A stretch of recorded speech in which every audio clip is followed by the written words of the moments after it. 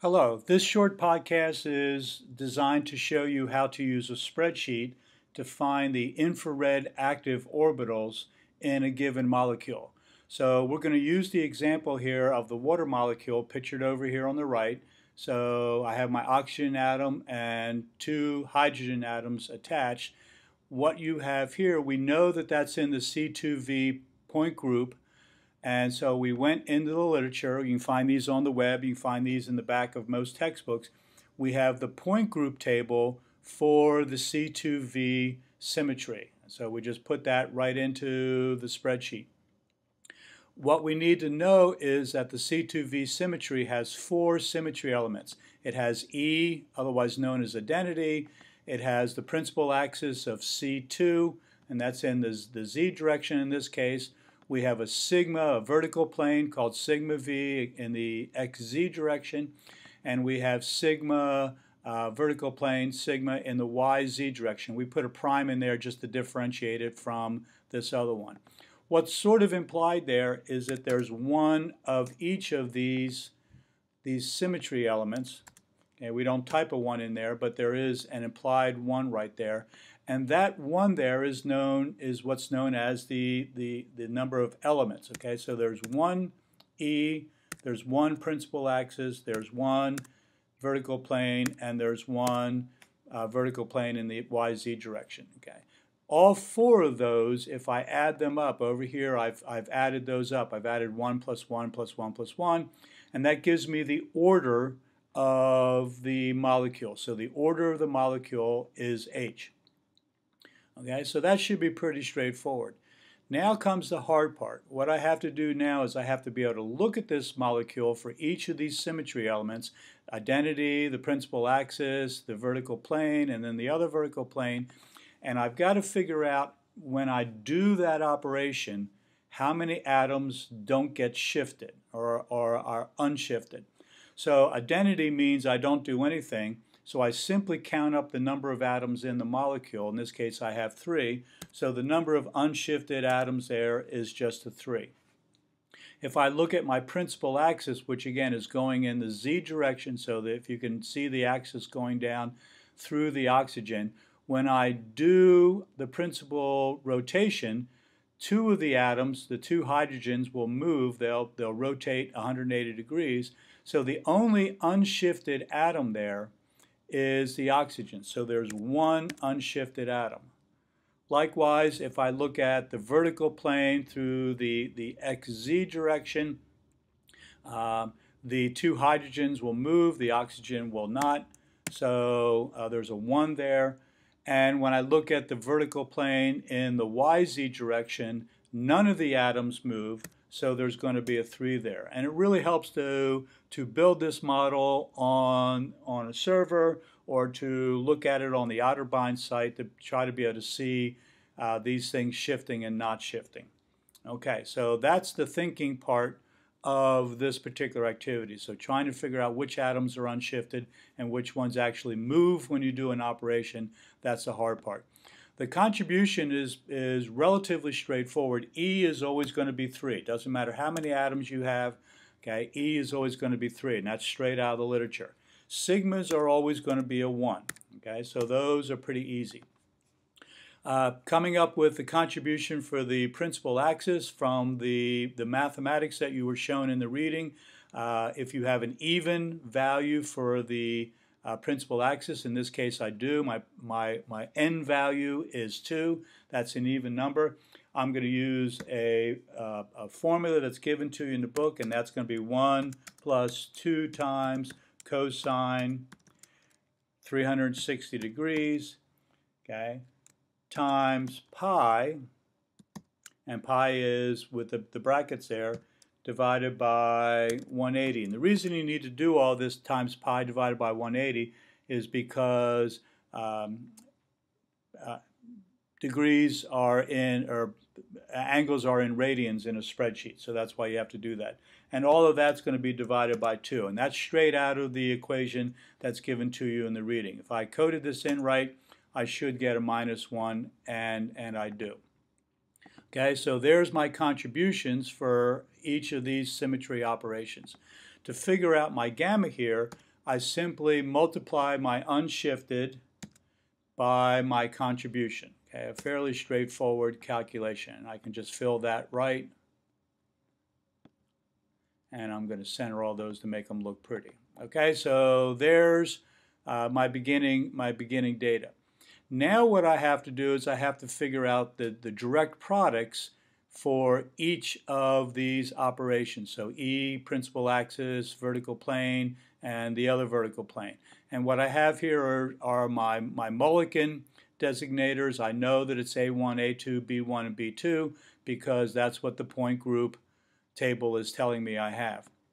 Okay, so to do this, I'm going to do the number of elements in E, which is 1, and I'm going to put a dollar sign in front of the 3 there so that it always comes and gets it from row 3, okay, times the point group value from the table. So I go to E, A1, and I need the C5 there. And again, I'm going to put, um, I'm not going to put a dollar sign in front of anything there because when I fill down, I want that to, to change, times the gamma value here. And I am going to put a dollar sign in front of the 13 because I always want it to come from row 13. Okay, so I'm going to do that. It gives me a 9. I'm going to center that to make it look pretty.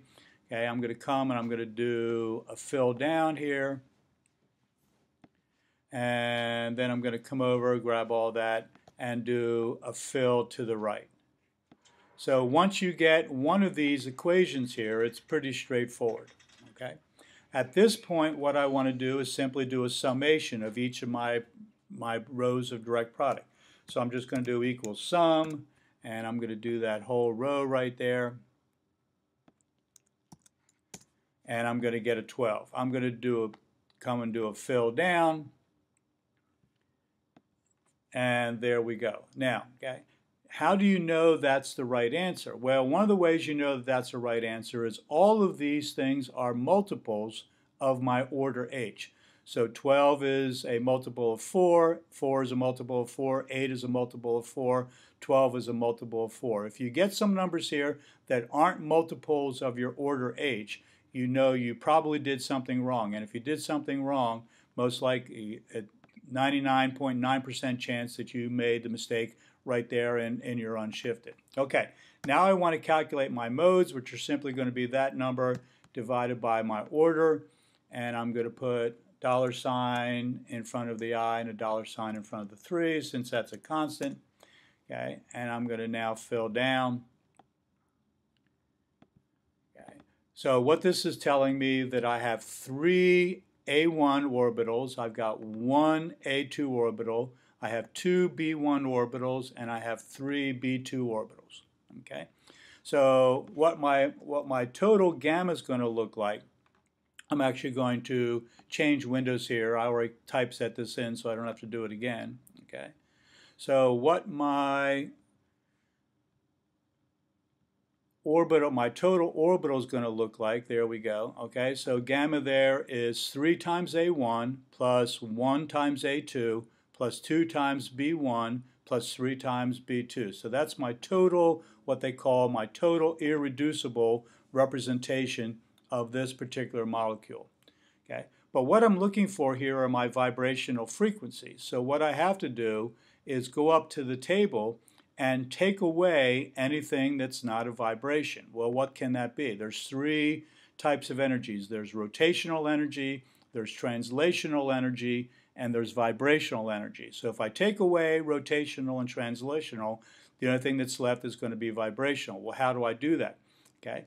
To find my rotational, I go up here and I find there's a rotation with the RZ, there's a rotation with the RY, there's a rotation with the XZ. And notice that I have an A2, that's a rotation. I have a B1, that's a rotation. And I have a B2, that's a rotation. So I've, I've coded them in here. Okay, I'm going to do the same thing with translational. Okay, Z is a translation, X is a translation, and Y is a translation. So I have an A1, that's a translation, I have a B1 that's a translation, and I have a B2 that's a translation. So I've coded them in here. If I simply do the algebra, 3a minus 1a gives me 2A. Okay, A2 minus A2 gives me no A2s. 2B1 minus B1 minus B1 gives me nothing for B1. 3B2 minus B2 minus B2 gives me a B2. So my total gamma for vibrational should be 2A1 and a B2, okay? So that what I've just done now is I've predicted I should have two A1 orbitals that are infrared active and I should have one B2 orbital that's IR, IR active. So if I go and I look at my water molecule, I did a, uh, a vibrational frequencies check to see if I get that indeed. And I come down here and sure enough, I have an A1 that's vibrational.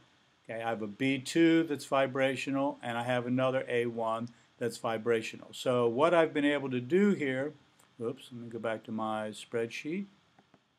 Okay, I've been able to use point group symmetry to be able to predict what orbitals should be IR active for this particular molecule.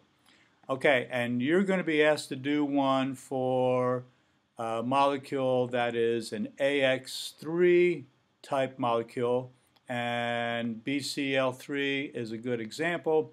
So there's my A right there, and then I have, so my boron is A, so this is an AX3 molecule, there's A, there's chlorine, chlorine, chlorine, so the symmetry of that is going to be D3H, and accordingly you're going to use the D3H point group table. And that is going to be in the spreadsheet uh, for you. So there it is ready to go and go from there. Okay, hope that helps and good luck with this activity.